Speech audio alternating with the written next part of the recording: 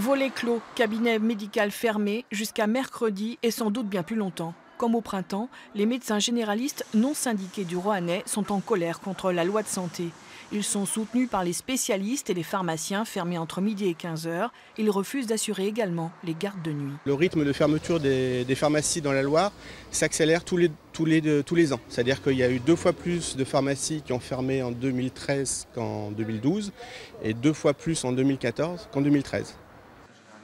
Avec plus de 95% de grévistes, le préfet a dû réquisitionner les médecins de garde, bien déterminés à dénoncer le projet de loi.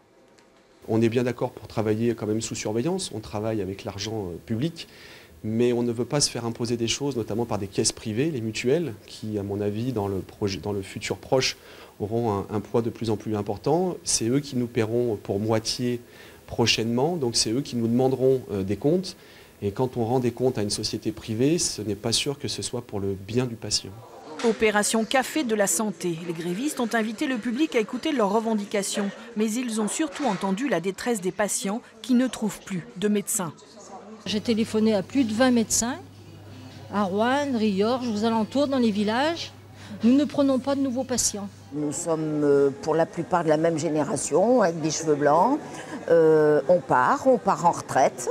Euh, en plus des départs en retraite, eh ben, euh, il y a des burn-out. Hein. Il y a des gens qui mettent la clé sous la porte parce qu'ils n'en peuvent plus de travailler dans ces conditions.